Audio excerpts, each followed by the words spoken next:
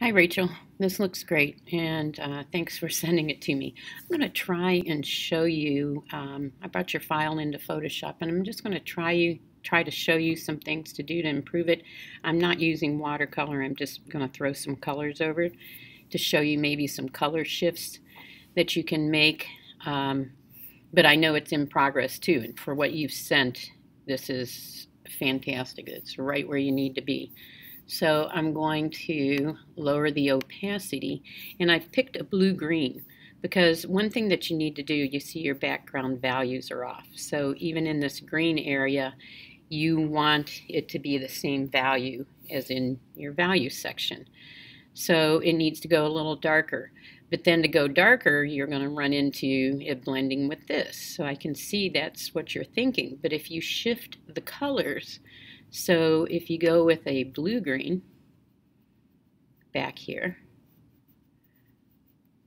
and let's see, I'm going to deepen it more because it's not quite dark enough. And your washes can have the same kind of feel up here. I think it looks good. Don't try and make it be perfectly smooth. In fact, where you have that little value shift is really great. So then maybe over here, it gets a little bit lighter as you get into here. You know, so it's matching basically what you've got. And with a smaller brush, I can come in even and show. So this value that gets darker in your value section, it needs to happen here, and that helps that highlight of the tree show up. So I can do that. Okay, so you'll work out, you'll bring it up maybe from here. It'll be a little darker around here, but then it'll get lighter. So um, just a quick way to show you that you're thinking about color families.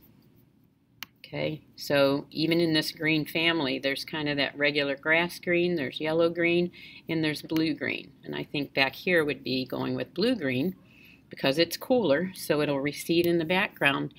And then I can pick another color here. I can go for a yellow green. And this might be a little too yellow. But if I use it light here, I've got 29%. So, no, that's no good. So I'm going to even go more yellow. So it can be mostly yellow. This kind of a look that you could maybe add a little bit of washes in here. This is a little bit intense, so I would go a little more subtle. But I'm hopefully you can get the idea. Yeah, here you go. So with your light washes of a little bit more of a yellow-green, that might be too low. So start off though bit with watercolor. You're going to start off really light first anyway. So you have more yellow greens in here. You have your blue greens in your background, which will let it recede a little bit. And then you have kind of regular greens or grassy greens more up here. You can even get a little bit of yellow-green in your highlighted area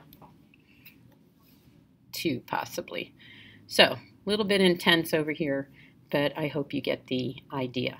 And watch um, getting too solid with your lines, although I think you have a pretty good feel to this. Your trunk looks excellent, um, but looks good. So we'll see what happens with your top section where you're going to have yellows, oranges, those warm colors up here, and then you can get into violets and purples, uh, violets and blues for your cool colors back in the background. Hopefully this helps. Keep up the good work.